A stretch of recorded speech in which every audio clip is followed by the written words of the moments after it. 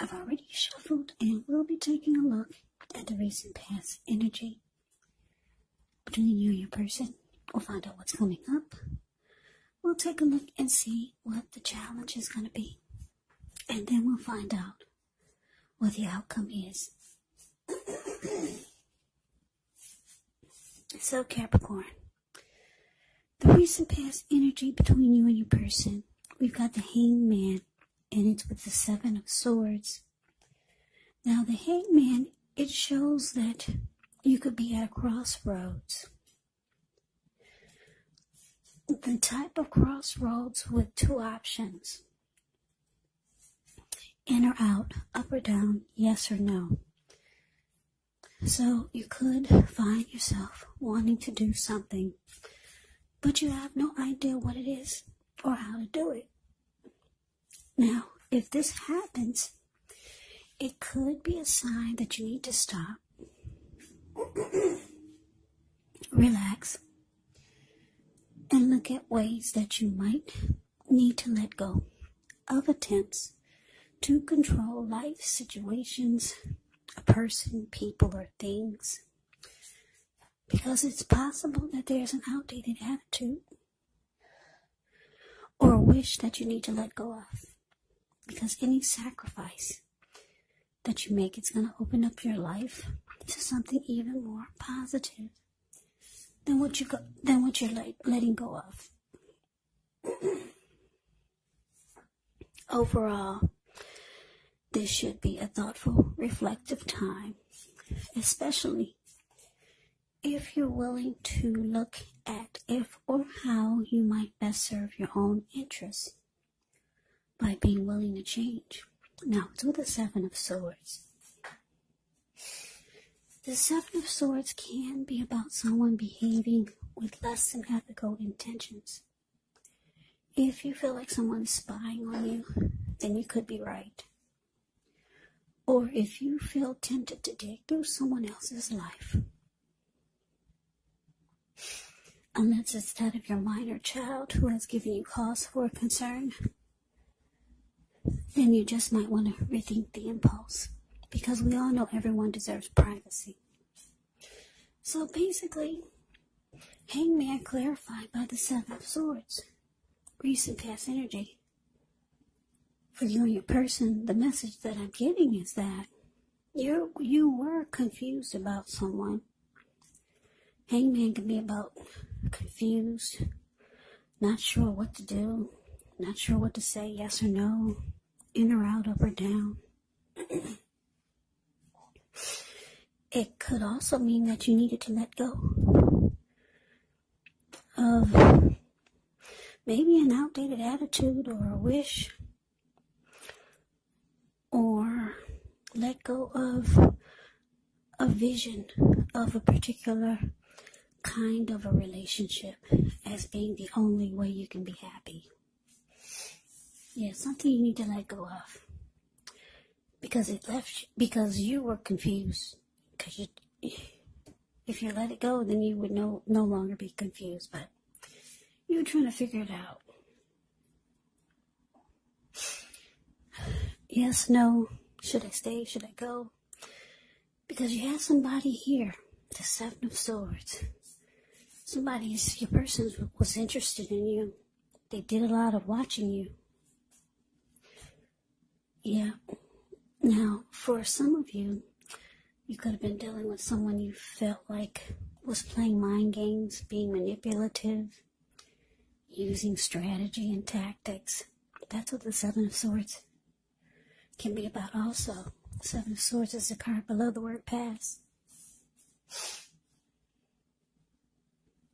So for some of you, you had someone that was playing games with you. And um, I'm getting that they were interested in you, but that was their that was their that was their approach. Yeah, maybe that's the only way they knew how to to get people interested in them was by playing games or or they went by some silly dating game book on how to approach women or men that you're interested in. Anyway, the Seven of Swords is that, it's that sneaky card. So they could have stalked you, or someone was, or your person was playing some type of manipulative, strategic game with you, and it caused a problem because it left you confused. Yeah, you could have been the type that you could be the type that just like that prefers a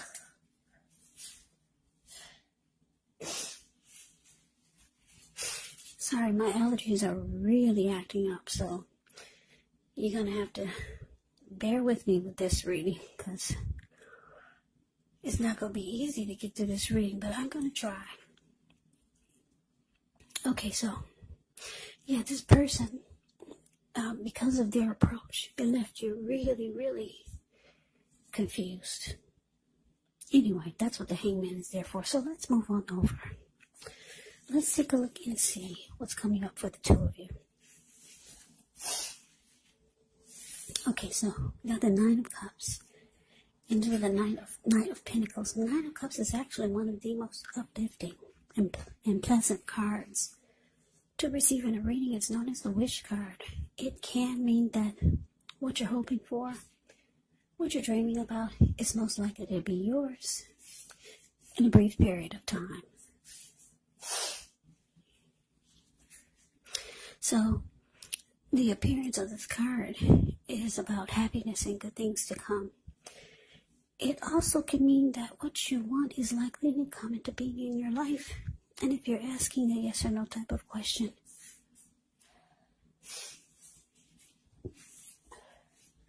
well, this is the most powerful indicator of yes. Okay, so it's with the nine of Knight of Pentacles, the card below the word present. The Knight of Pentacles is a really good energy. It's about stability. It's about it's about loyalty. Um, Knight of Pentacles is a very good energy. It's very practical. It's about commitment, um, stability. Yeah, this is a really good energy. This type of person can be your knight in shining armor. So coming up, Capricorn, Nine of Cups, clarified by this Knight of Pentacles. So, Capricorn, you've got someone that's interested in you, but they're going about it in a very immature, well, I don't, I don't know if I'm going to say immature. They're going about it in a sneaky, manipulative way. With the Seven of Swords, I can't take my eyes off of what this person is doing in, in the picture of the Seven of Swords. Yeah, and it's leaving you in your head. This person sees you as their wish come true. They've got very, they got very strong desire for you. They would feel blessed and satisfied to have you. That's what the Nine of Cups indicates. This person, whether you know it or not, they want something solid with you, commitment. Um, they want to make this a very stable connection. They're just going about it all the wrong way. The Seven of Swords is,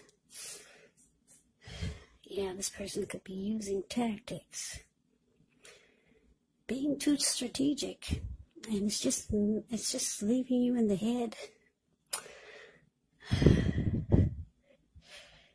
saying you don't know what to you're not sure what to do about it because when people play games it can confuse the other person so i don't know why people play games yeah because it, it, if they're serious why are you playing a game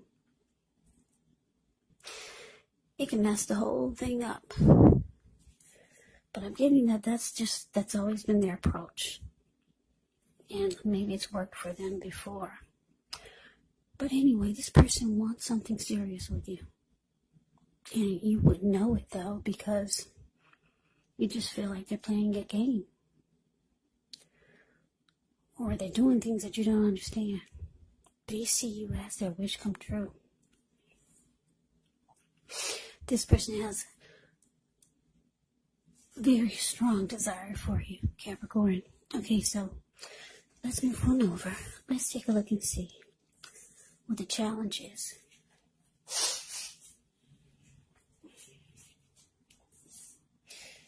Okay, we got the Three of Pentacles and it's with the Ten of Swords. Now, this Three of Pentacles, it's a positive card in the tarot, especially when it comes to work, career, family, romance. It's a good overall card in the deck. It means that you're doing well. Yeah, this Three of Pentacles, it tells you that people around you, they appreciate you and your efforts, and they notice the quality of what you do, even if you're not getting paid. It tells you to keep doing what you're doing because you're right on track. There could be some room for improvement, but when you get the Three of Pentacles, you will not have to scrap something and then start again. You will not. Now it's with the Ten of Swords, which is a signal to be careful about where you put your trust when the 10 comes up in relation to a question as to whether you can believe what a person is telling you or trust that a situation is stable. Well, it's a pretty clear answer of no. If you can see the Ten of Swords, it's the card below the word challenge. Yeah, he's got all these swords stabbed in his back. However, keep in mind, whenever a door closes, another door opens. You're being guided to a situation better for you. So just trust yourself and trust the universe. So your challenge, Capricorn, Three of Pentacles with the Ten of Swords is clarified. it's clarified by the Ten of Swords. So, like I said, your person, they do want something serious with you, but you could be having a hard time believing it by the games that they're playing. With the Three of Pentacles showing up for the challenge, yeah, you're like, you need them to prove it to you. Because if you look at the picture of the Three of Pentacles,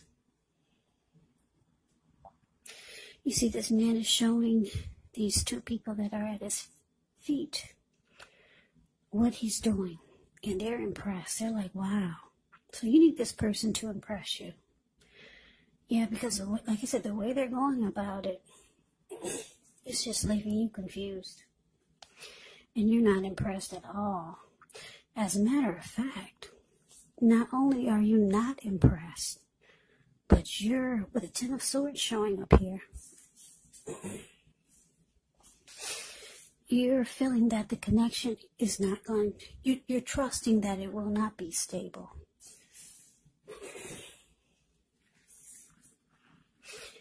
Yeah, that's how you're, that's the challenge. You're not impressed.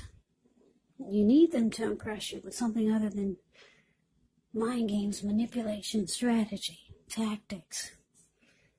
Because the way they're going about it is making you feel like the Ten of Swords. You don't trust that the connection would be stable. So you need them to pull some other tricks out of their bag. Or just come correct Yeah, and that's not what they're doing. At least not right now. Maybe in February. Let's see. We'll find out, okay? But let's see what, what the outcome is for coming up this week, weekend. Remember, time is fluid, so this could be happening now, or it could go into late January. But your outcome, it's indicating Ten of Cups with the Queen of Pentacles.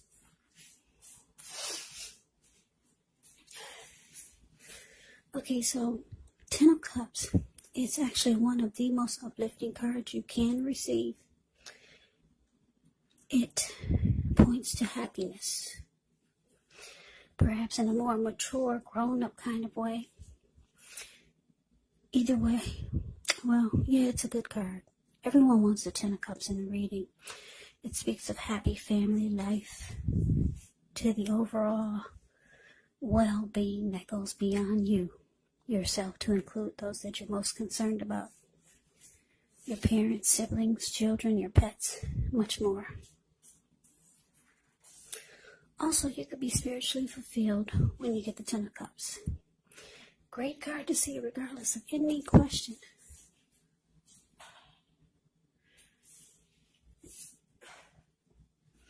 Now it's with the Queen of Pentacles. Now this card can indicate that you could be spending money, time, energy on your home, getting it to be more comfortable. yeah, it's a good thing, provided you don't, provided you don't take on too much debt, because people could be looking to you for insight, maybe advice. You'll be able to help them if you decide to do so. This is also a time period when you can get a whole lot accomplished.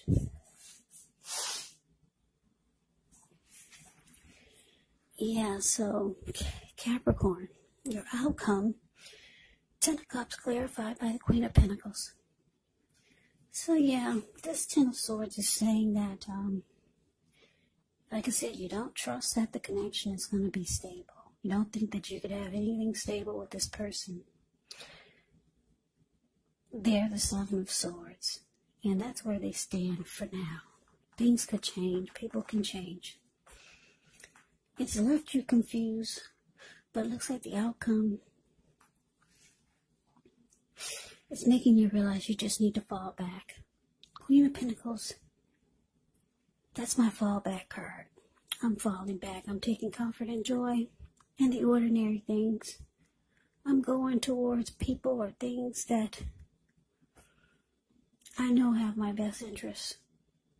And you don't have to do anything to get it. Like the Queen of Pentacles is a card below the word outcome. She's sitting in her backyard. She's in a lounge chair. She's enjoying the weather. She's got her dog at her feet, keeping her toes warm. She's feeding the birds and the squirrels that come by and that are just so happy to see her. She's smiling and cuddling a huge pentacle. She, so she's taking comfort and pride that she's got some money in the bank. Because when you hear the, hear the word pentacles in the tarot, that can be money, cash, coins, finance, income. So yeah, you're deciding to fall back. You, you're you're feeling like it's not even this person playing games like this is not even worth you being confused about. So you're taking comfort in the ordinary things. And it looks like you're going to wait for your Ten of Cups because you realize that this, you want, it's time for you to have your Ten of Cups. Yeah, you're falling back until you, your Ten of Cups comes. And you feel like this person is not it. So that's the reading that I have for you, Capricorn. I hope you enjoyed the reading. I hope it resonated. As you know, general readings, they do not always resonate with everyone. Then again, if you like the reading, please comment, subscribe, hit the notification bell. That way you'll be notified when I post my next reading. I'll also put a link below of the extended on this reading, where I'll go over how you both feel about the situation, what's in the near future for the two of you, how you see yourself, best case scenario, and what will happen between the two of you in the next few weeks. There's also a link below for personal readings. If you'd like to try one of those. So Capricorn, thank you so very much for watching. I hope all of you are doing well and staying safe during this crazy virus season. Hang in there. It's gonna pass. We'll all get through this. Stay strong. Come back and join me for the next Capricorn reading just in case this did not resonate, maybe the next reading will.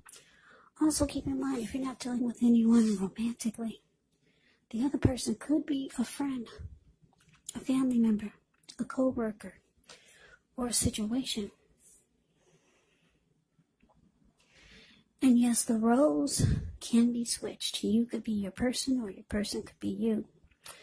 The roles can be switched. Yes, they can. So just take the reading for however it resonates because these are general readings, they're not personal readings. So, Capricorn, I can never say enough. Thank you so much for watching. I hope to see you at the next reading. I hope you guys had a wonderful Christmas. I'm wishing all of you Happy New Year's. Like I said, I hope to see you at the next reading. I hope you have a great day and take care.